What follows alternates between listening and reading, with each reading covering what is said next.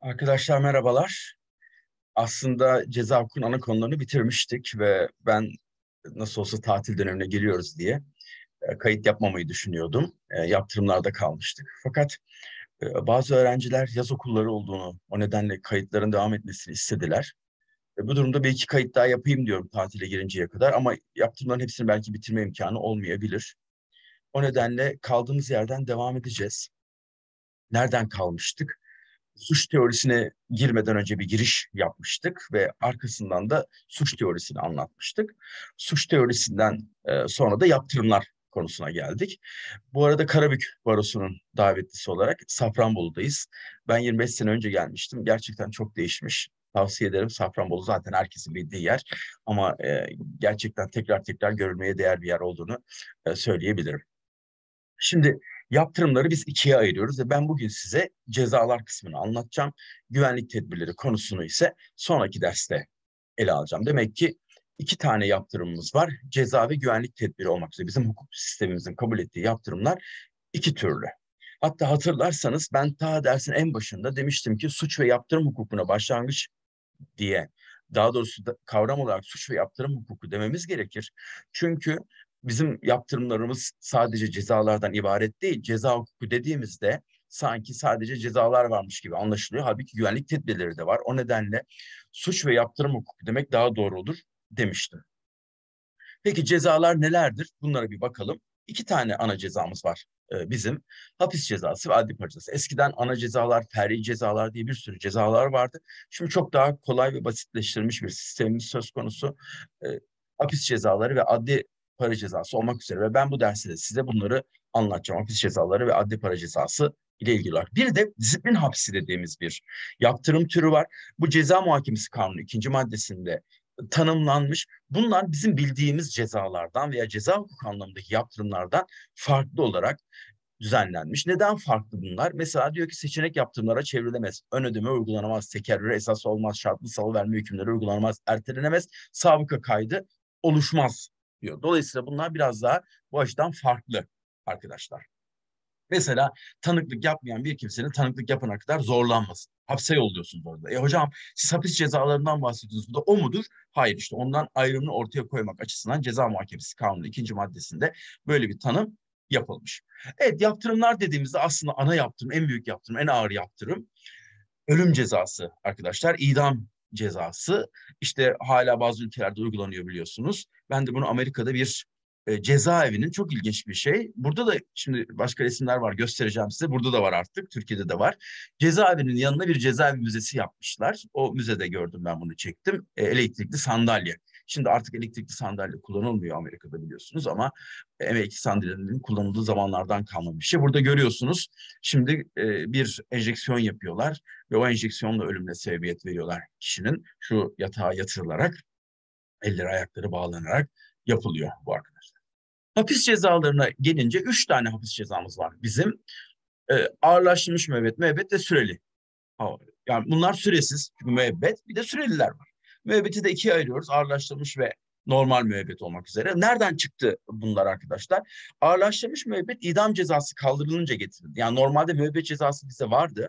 İdam cezası kaldırılınca e, ne yapacağız? Bunu kaldırdık, bunu yerine ne getirelim? Buna da müebbet dersek e ama daha ağır olan haller var. Onlar ne olacak diye düşünüldü ve ağırlaştırılmış müebbet getirildi. Ağırlaştırılmış müebbet hem cezanın infazı açısından getirilen bir takım farklılar var. Bir de daha da önemlisi koşullu salıverme süresi uzuyor arkadaşlar. Ne diyor bakın kanun 47. madde? Hükümlünün hayatı boyunca devam eder. Demek ki müebbetten bir farkı yok o açıdan.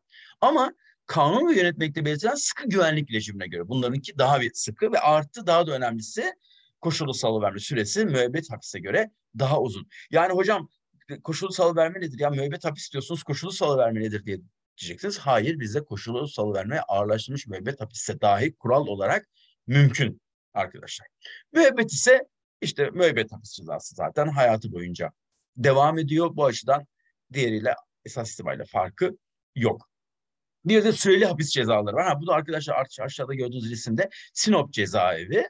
E, yani dediğim gibi Türkiye'de artık bazı cezaevlerin müze haline getirildiğini görüyoruz. Bu da bunlardan birisi. Sinop cezaevi çok meşhur bir cezaevi. Çok sayıda ünlünün kaldığı vakti zamanda bir cezaevi.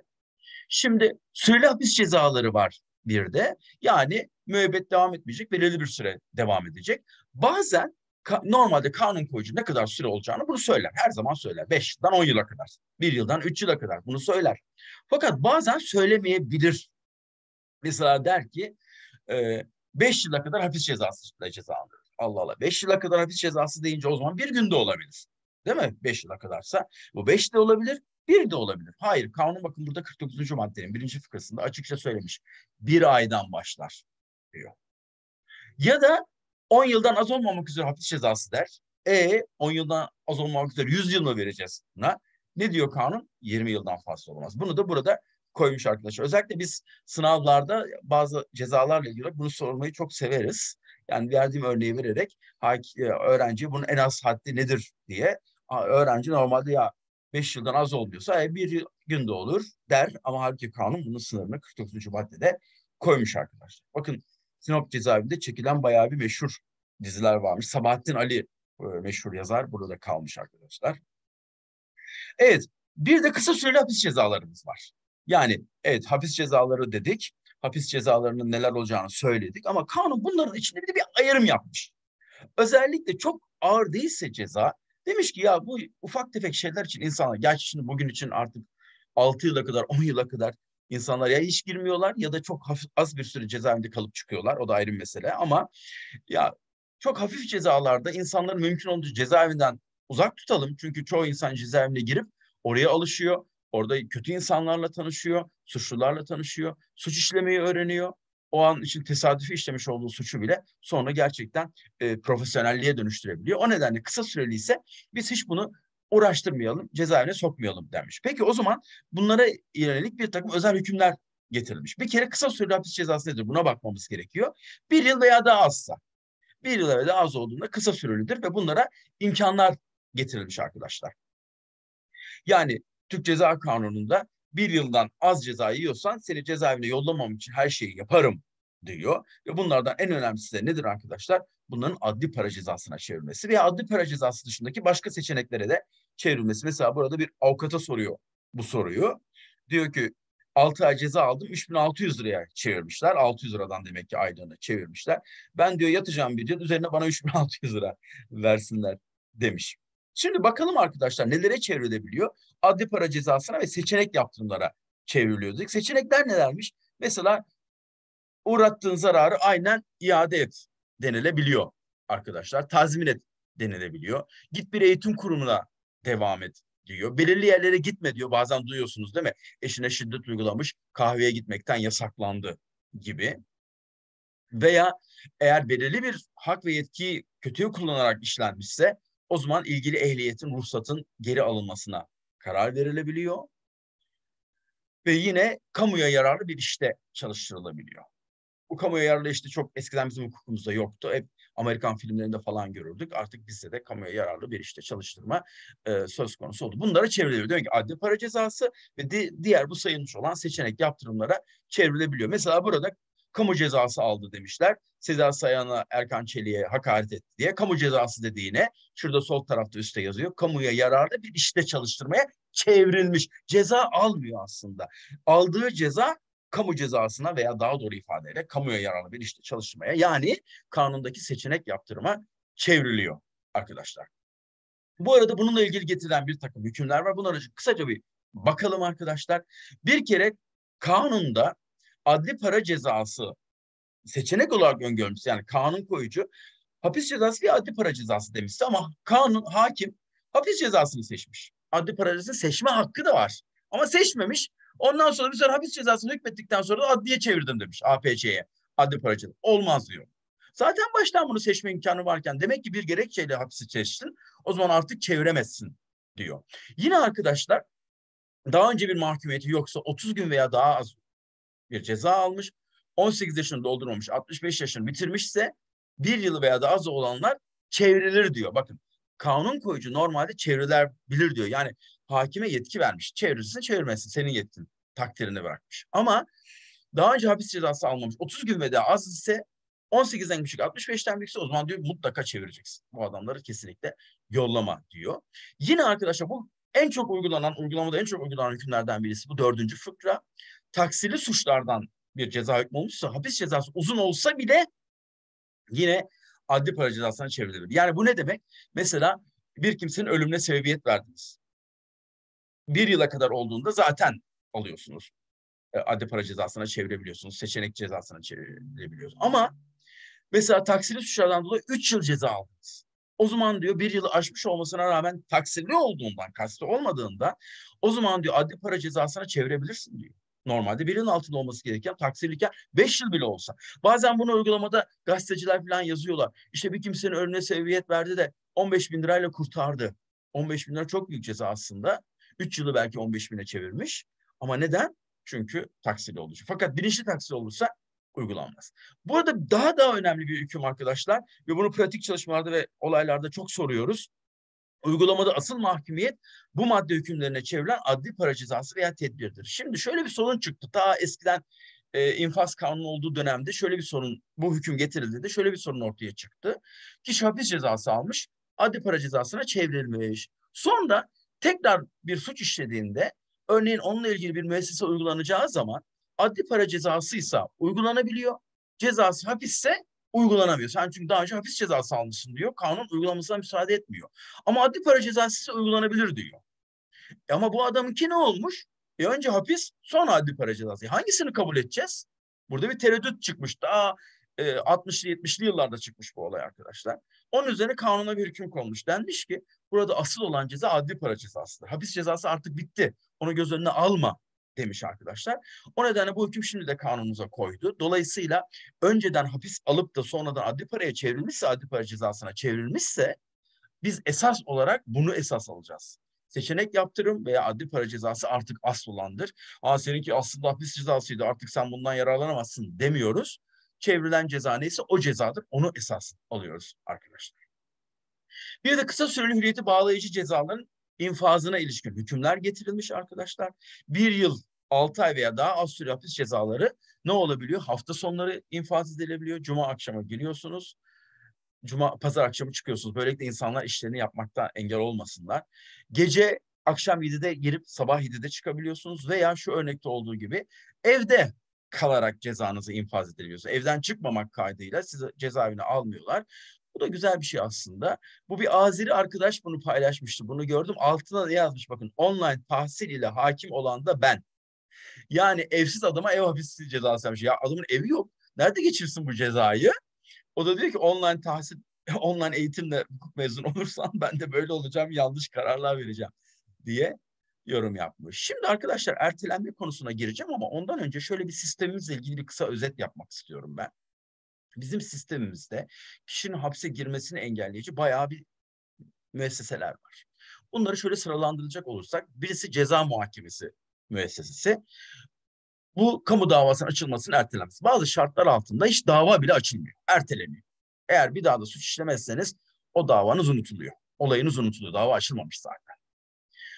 Hadi dava açıldı yine bir ceza muhakemesi müessesesi. iki yıl altındaysa daha önce suç işlememişseniz Hükmünüzün açıklanması ertelenebiliyor. HAGB dediğimiz hükmün açıklanmasının geri bırakılması.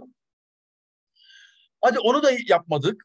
Bir yılın altındaysa hükmü kuruyoruz ama adli para cezasına veya tedbire çeviriyoruz. O da olmadı. İki yılın altındaysa hapis cezasının infazını erteliyoruz. Hükmün açıklanmasının ertelemesinden farkı ne? Hükmün açıklanmasının ertelendiğinde hüküm yok ortada. Burada ise hüküm var ama infazını erteliyoruz arkadaşlar. Dolayısıyla bu üç müesseseden biri ve ikincisi olanı ceza muhakemesi müessesesi. Bunları ceza usulde göreceksiniz.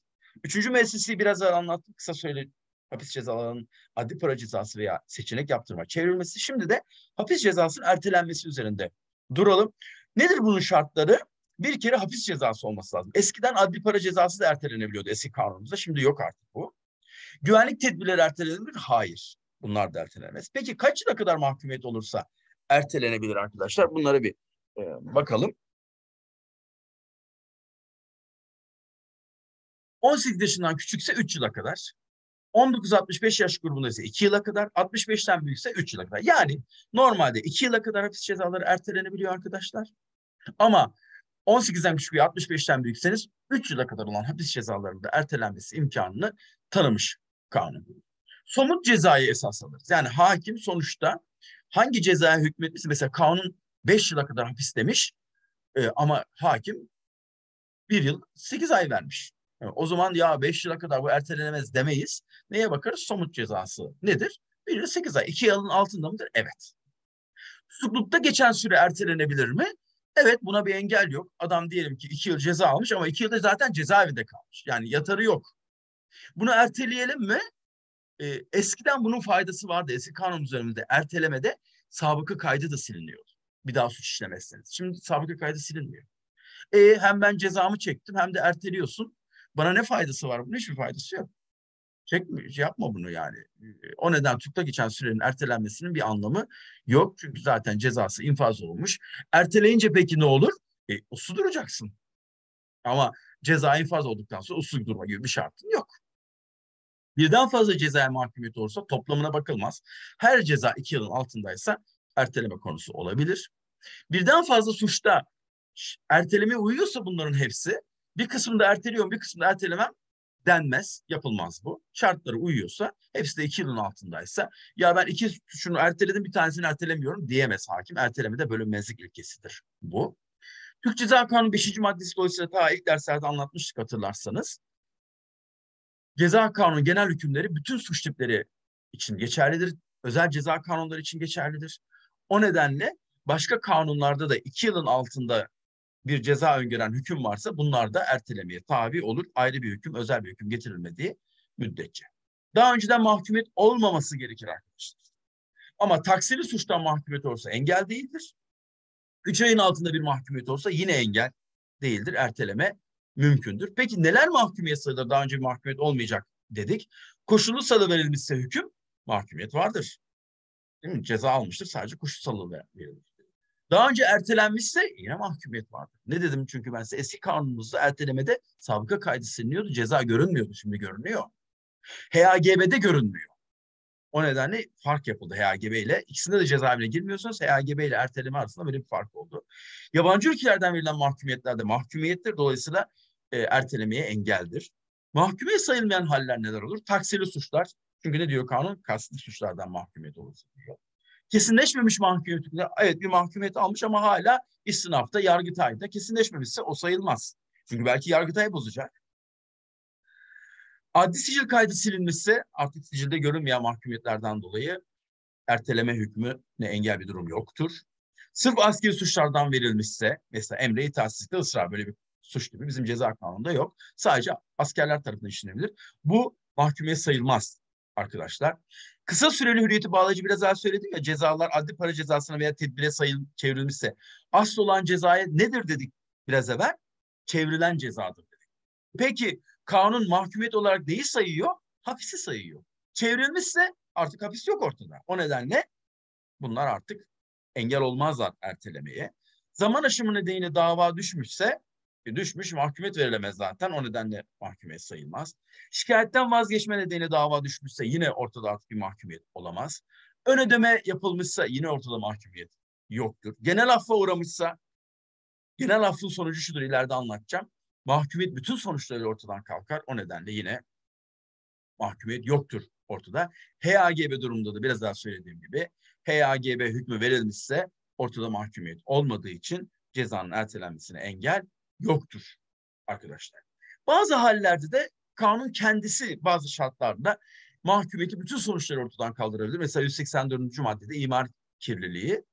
Ee, burada arkadaşlar e, mesela gece kondu yaptınız sonra ruhsat aldınız. Mahkumiyeti bütün sonuçları ortadan kaldırıyor. O zaman bu da mahkumiyet değildir artık. Mahkemenin bir kanaat getirmesi gerekir buna. Nedir? Gerçekten de pişman oldu bir daha suç işlemeyecek diye düşünürse erteler arkadaşlar. Şarta bağlayabilir. Git mağdurun zararını gider falan diyebilir. Bu şartlarla şart getirebilir. Bir de denetim süresi belirler arkadaşlar. Der ki bir yıla üç yıl arasında seni denetime tabi tutun. Mesela görürsünüz bazen e, bazı yerlerden geçerken işte İstanbul Denetimli Serbestlik Şube Müdürlüğü gibi işte bu denetimlik serbestlik müdürlükleri bu işe bakarlar. O kimsenin denetimini sağlarlar.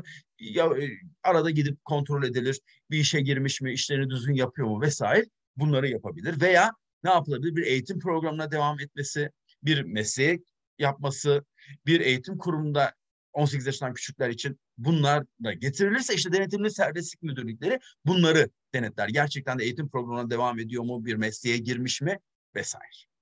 Evet hapis cezaları bunlardı. Bunları bitirdik. Bir de adli para cezası var. Şimdi eski kanunumuz para cezası diyordu arkadaşlar. Ağır para cezası, hafif para cezası ve miktar olarak belirtiyordu. İşte diyor ki 500 liradan 1000 liraya kadar para cezası. Fakat Türkiye'de enflasyon arttığı için bu çok büyük problemlere yol açıyordu. Şimdi nasıl hani her sene başında vergiler artırılıyor, para cezaları, idari para cezaları, trafik cezaları işte enflasyon oranında artırılıyor. Bunlar da artırılıyordu eskiden. Fakat bu sistemden şimdi vazgeçildi. Bir kere bunu adli para cezası diyoruz. İdari para cezasından ayırmak için idari para cezaları ne der? İşte trafik cezaları gibi, kabahatler gibi bunlar. Buradakisi adli para cezası yani bir hakim hükmedecek buna. Ve sistem biraz farklılaştı. Gün para cezası dediğimiz bir sistem geldi. Ne diyor? 5 günle 730 gün arasında. Yani yine kanun belirtmemişse kaç gün adli para cezası vereceğiz? 5 günden az olamıyor, 730 günden az olamıyor. Hocam siz para cezasından bahsediyorsunuz, gün diyorsunuz. Böyle saçma şey olabilir mi diye düşünebilirsiniz. İşte gün para cezası sistemi budur arkadaşlar. Artık kanun koyucu miktarı belirlemiyor. Miktarı kim belirleyecek? Hakim belirleyecek. Onun yerine gün diyor.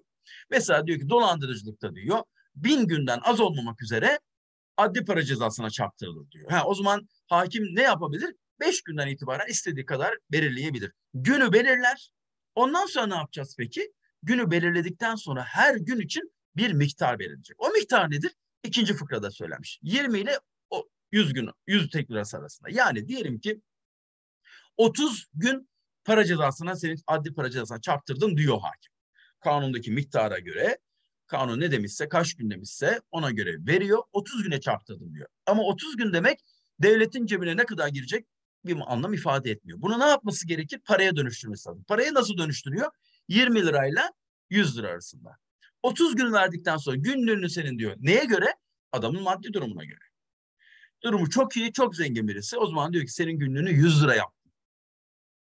100 çarpı 30 cezası ne oluyor o zaman adamın? Sanığın 3000 lira adli para cezası böylelikle ortaya çıkmış oluyor arkadaşlar. Süre verebilir diyor dördüncü fıkra. Taksitle çevirebilir bunları, e, bu cezaları.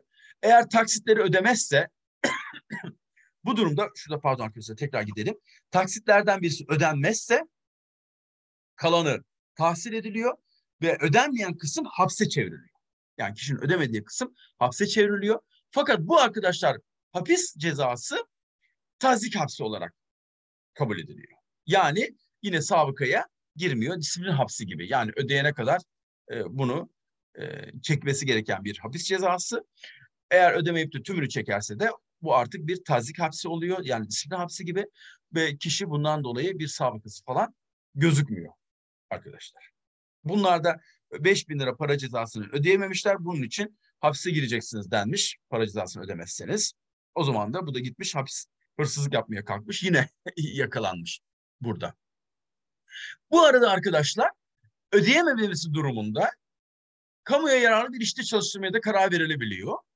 Burada ne yapıyor? İki saat çalışıyor. Bir gün hapis cezasını infazı yapılmış sayılıyor. Günde iki saatle dört, sekiz saat arasında çalışıyor. Sekiz saat çalışırsa dört gün hapis cezasını çekmiş gibi sayılıyor arkadaşlar. Bu da ceza güvenlik tedbiri infazı hakkında kanunda getirilmiş.